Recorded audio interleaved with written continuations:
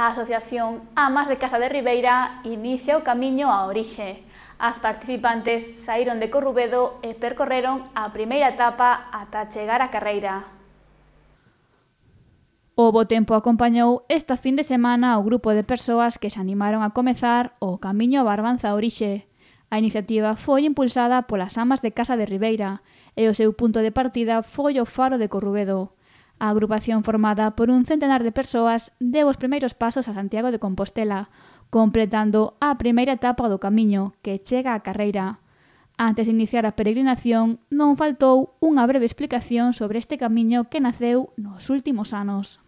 Para que os sintáis orgullosos de, de nuestro camino, porque es un camino que eh, llega a Santiago de Compostela, como todos los caminos, lleva 135 kilómetros de recorrido y los dividimos en, eh, originariamente en seis etapas, para que el peregrino ande una media de 20 kilómetros al día.